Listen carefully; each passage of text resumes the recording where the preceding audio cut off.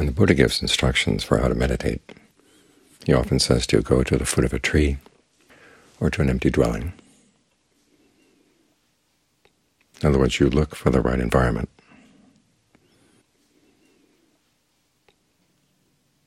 So what do you do when there are no empty empty dwellings or trees around? You have to create the environment through your actions. We see this in the Buddha's instructions for new monks, which apply not only to new monks but also to lay people, for how to create a good environment for your practice.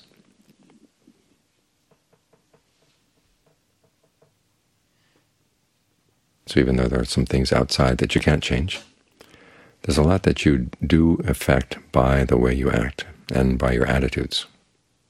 These create an environment too and they can turn what may not be a very ideal environment into some place that's good enough to practice. After all, there's no absolutely ideal place to practice.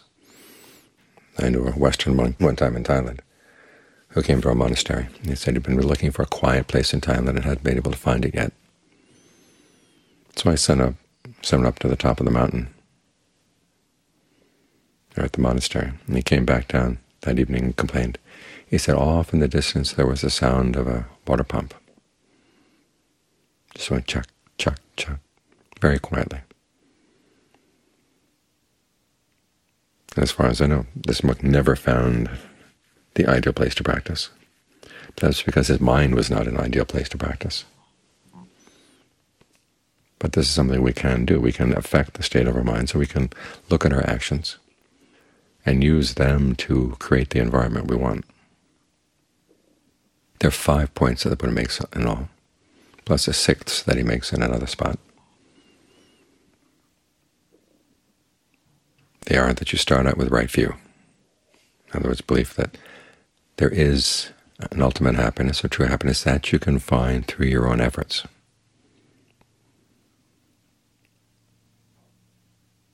The Buddha gave the example that this is something human beings can do. So it's good to keep that in mind. One, it keeps you careful about your actions. You look more carefully at what you're doing and saying and thinking and asking, does this lead to happiness or does it lead to something else? At the same time, realizing there is an ultimate happiness means you don't settle for second best or third best or fourth. You realize that happiness doesn't lie in material possessions and it doesn't even lie in relationships. Relationships can bring us pleasure. But if we make our happiness depend on relationships, it's going to be too big a burden for the relationship to bear. We live with people, we have, we have affection for them, we look after them, they look after us. We help one another along. But you have to have a part of the happiness, your happiness, that doesn't depend on any relationship at all depends on the skills you develop inside. So that's the first factor, having right view. The second factor is observing the precepts. For the monks, of course, this means all the precepts the Buddha laid down in the Vinaya. You want to know them well. As for the lay people, the five or the eight precepts. The five precepts as what they call your constant precepts. Then occasionally you take the eight. That adds not eating afternoon, not watching shows,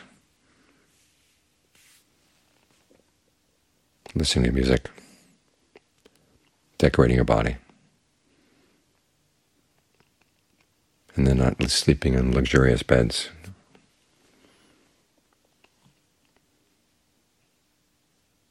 You take the afternoon, the part of the evening that you would normally take for a meal, and you use that to practice or listen to the Dharma. You do this from time to time, but the five precepts are the constant ones. You begin to realize that by avoiding the kinds of things that are forbidden by the precepts, life actually becomes a lot easier. Now, there are times when holding by the precept is going to be difficult in the short term, Say, for instance, with the precept against lying. There's some information you don't want to give to some people because you know they're going to abuse it. Then you have to figure out some way not to get the information across at the same time without lying. But regard that as an exercise in your discernment.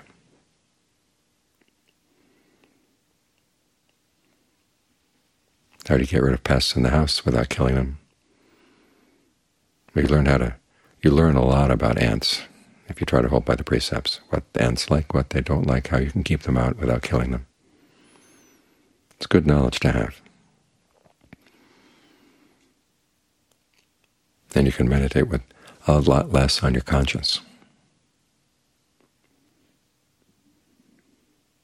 When you know that you've harmed somebody or yourself through breaking the precepts, it's like a wound in the mind.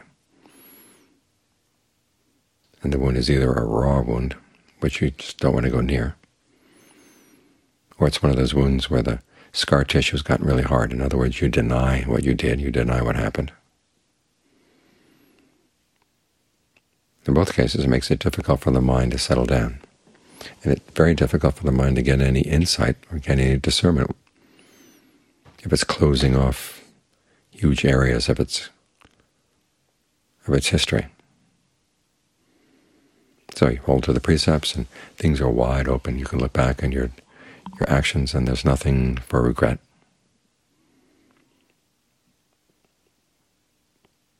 And particularly if there have been things that you did that did cause trouble, but you did them with a good intention, those are a lot easier to look back on than the ones that you did when you knew that the intention was bad. So by observing the precepts, you do create a new environment in the mind. That's a second factor. The next two factors have to do with restraint. One is restraint of the senses. In other words, when you look at something, ask yourself, why am I looking? And what's going to come about as a result of looking in that way? When you listen, again, why you're listening. Is your discernment during the listening, or is your desire for something to be greedy about or something to be angry about during the listening? And what kind of actions are going to result from looking and listening in that way. People sometimes think that restraint of the senses means that you put blinders on your eyes and stop up your ears. In other words, you don't look, you don't listen. But that's not what it means. It means seeing the activity of engaging in your senses, or with your senses, as a kind of karma. It comes from certain intentions and it leads to certain actions. So you have to be careful about how you look, how you listen, how you engage with all the senses. Because if lust is doing the looking or anger is doing the looking, it's going to develop bad habits in the mind. You're going to clutter up the mind with all kinds of things that, when you sit down to meditate, are going to be hard to clean out.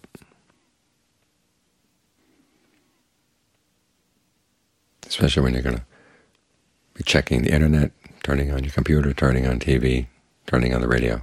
Ask yourself why. What are you looking for? Sometimes it's innocent, sometimes it's not. this way you really can have some control over your environment. One of our monks was recently visiting his parents, and they had TV on all day long. That's kind of a background noise, I guess to make sure that they didn't feel lonely, but at the same time it was filling their heads with all kinds of garbage. So you do have some choice on what you turn on, what you don't, and why you turn it on, and when you've had enough and you can turn it off. That way you give yourself more time to meditate.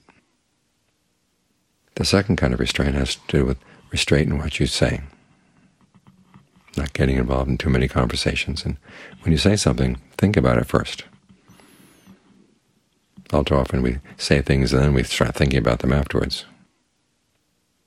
But when you speak, have a clear intention about why you're speaking, what you hope to accomplish. We don't just say something because we feel we want to say it or we can get it off our chest. You have to ask yourself, is this the right time, the right place? Is this true? Is this beneficial?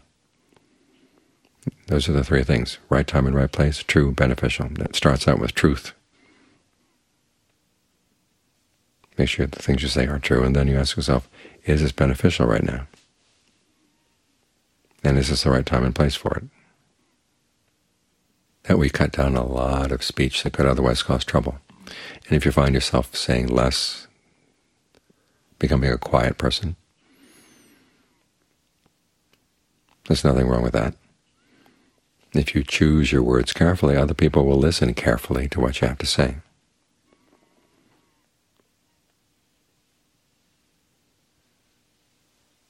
So restrain in your speech. That's the fourth factor.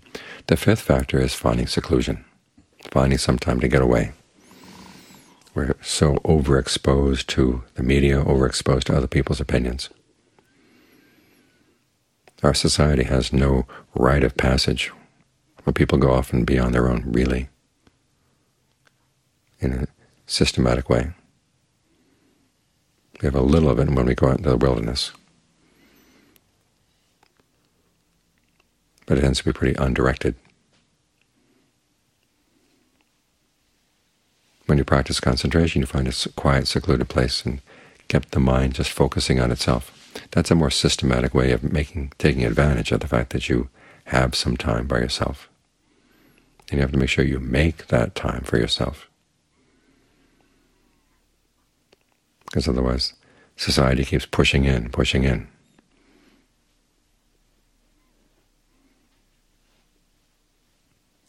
So those are the five factors,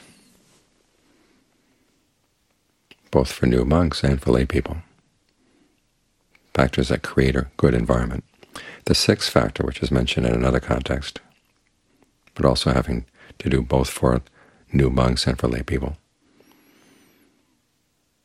It's finding admirable friends, people you respect, people whose behavior you find inspiring, and hang out with those friends so you can pick up their attitudes. Be very careful in who you choose as your friends.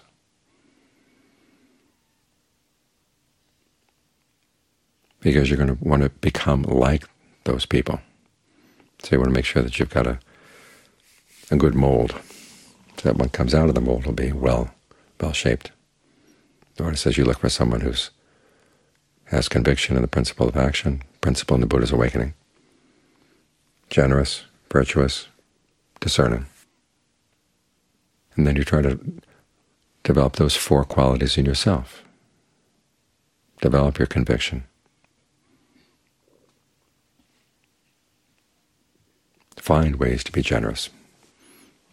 If you don't have much in terms of material things, you have your skills, you have your knowledge, you have your time, your forgiveness. These are things you can be generous with and it creates a more spacious mind. When the mind is more spacious, it's a more pleasant place to be, easier place to meditate.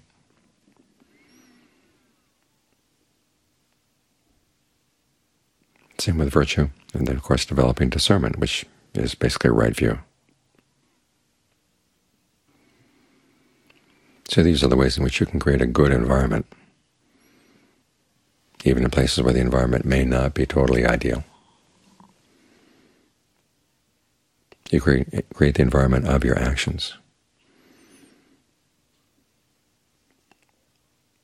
This is the Buddha's basic understanding what, what's called samsara. All too often we hear of samsara being described as a place.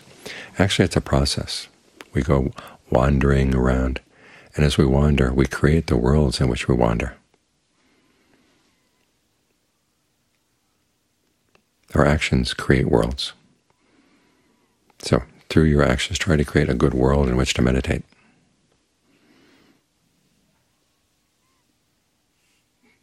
It is within your power.